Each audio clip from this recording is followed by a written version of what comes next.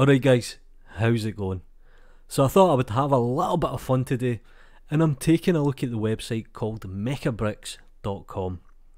Now you've already guessed, yes, it has to do with Lego. And when it comes to 3D and Lego, there's plenty of things out there in the market. You have LDraw, LeoCAD, and a whole bunch of resources. But Mecabricks kinda refines it a little bit, makes it a little bit more easier to use, and I highly recommend you check out the website. So what we're going to do today is we're going to look at the website, we're going to import an asset into Blender, and we'll take a look at the add-on.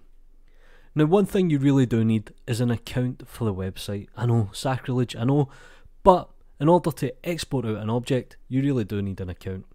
So what we can do here is we can go to the library and we'll take a look at some of the assets. Now these assets are generated by the community and it kinda reminds me of Sketchfab a little bit, except for Lego. And we have this amazing Mr. Bean asset, so we'll take a look at here. And you can see here, we actually have an icon for editor. So I'm going to click on this. This will open up the editor and it will drop the asset inside of the editor.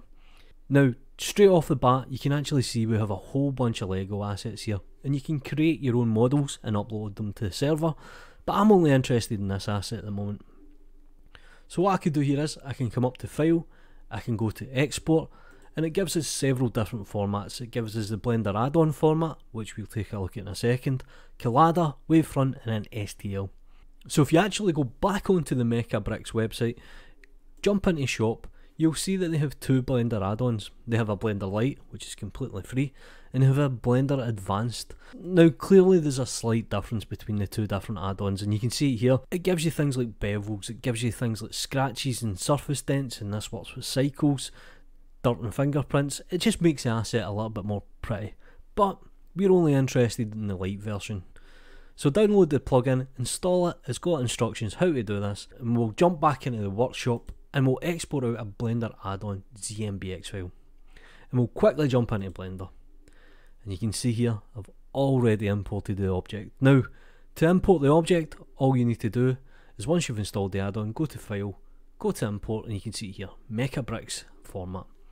And it'll import the object pretty much perfectly, and it'll set it up for Eevee. Now this works in cycles, but you might need to kind of tweak the materials a little bit. But that's pretty much how we get a Lego asset into Blender very quickly. And it is a really good website and it's a great resource for Lego assets. Do me a favour guys, like the video, subscribe to the channel, it costs you absolutely nothing. Follow me on Twitter, you know what to do. Peace.